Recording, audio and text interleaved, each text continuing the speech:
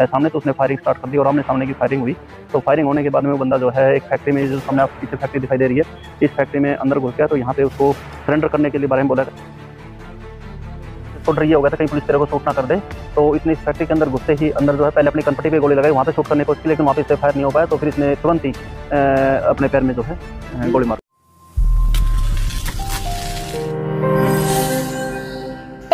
STF की team और एक दस हज़ार के इनामी बदमाश के बीच उस समय मुठभेड़ शुरू हो गई। जिस समय एसटीएफ टीम को बदमाश के फरीदाबाद स्थित सराय ख्वाजा इलाके में छिपे होने की सूचना मिली थी। लेकिन जैसे ही एसटीएफ की टीम ने आरोपी को पकड़ने का प्रयास किया वैसे ही आरोपी ने पुलिस के ऊपर फायरिंग शुरू कर दी और एक के बाद एक पंद्रह राउंड फायरिंग की।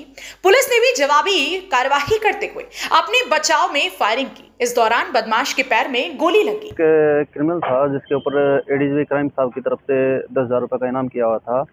इन लोगों ने क्या है कि 2023 अप्रैल के महीने में जो है अ, सिटी थाना सोना के एरिया में एक लड़के को ज़बरदस्त चोट मारी थी। उन चोटों की वजह से हाथों और डंडों से पीटा गया था। उसको उसकी वजह से उसकी मौत हो गई थी। उसके ऊपर जो है मतलब इनके ऊपर मर्डर का पर्चा दर्ज हुआ था। पर्चा दर्ज होने के बाद में इन्वेस्टिगेशन सिटी थाना करा था, लेकिन ये आरोपी काफ़ी समय से फरार चल रहे थे। तो इस संबंध में जो है, पहले एस यूनिट ने अभी कुछ दिन पहले इनके दो साथियों को गिरफ़्तार किया था। तो उनकी लीड के आधार पर जो आज जो एनकाउंटर यहाँ पे हुआ है, मुठभेड़ जो हुई है, इस बदमाश के साथ तो उनकी इन्फॉर्मेशन के हिसाब से हमें इन्फॉर्मेशन मिली थी तो हम यहाँ पे रात से नाकाबंदी किए हुए थे।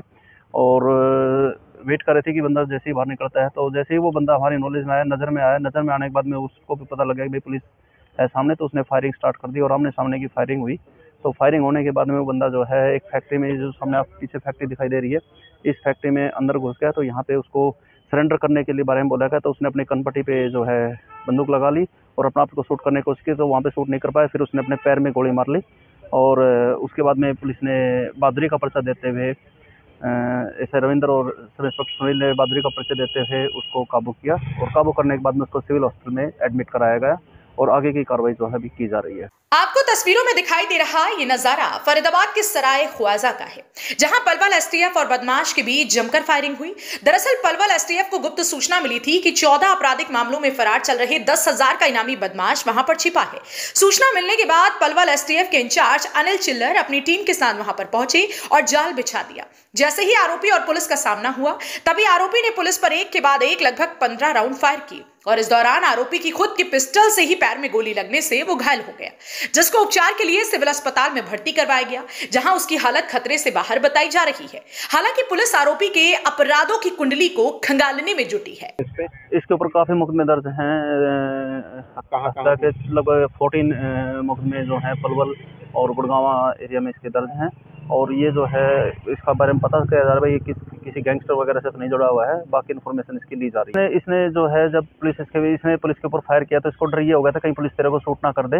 तो इसने इस फैक्ट्री के अंदर घुसते ही अंदर जो है पहले अपनी कनपट्टी पे गोली लगाई वहाँ पे शूट करने की कोशिश की लेकिन वहाँ पे इससे फायर नहीं हो पाया तो फिर इसने तुरंत ही अपने पैर में जो है गोली मार ली। अभी ये हमें ये अकेला ही मिला था जो हमारा इन्फॉर्मर और हमारी जो टेक्निकल टीम के जो काम किया था उसके हिसाब से जो इन्फॉर्मेशन थी वो यहीं की थी। अभी ठीक है ये हॉस्टल सिविल हॉस्पिटल करा दिया गया इसका जो उपचार जो है वो सिविल हॉस्पिटल में हो रहा है। ठीक है।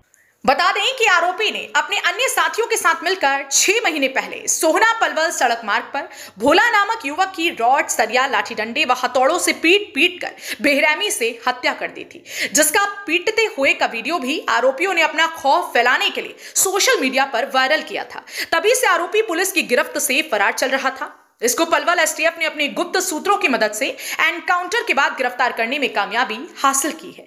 हरियाणा वरदान के लिए फरीदाबाद से जितेंद्र बैनीवाल की रिपोर्ट। देश व प्रदेश की खबरों को सबसे पहले देखने के लिए हरियाणा वरदान चैनल को सब्सक्राइब करें, लाइक करें व शेयर करें।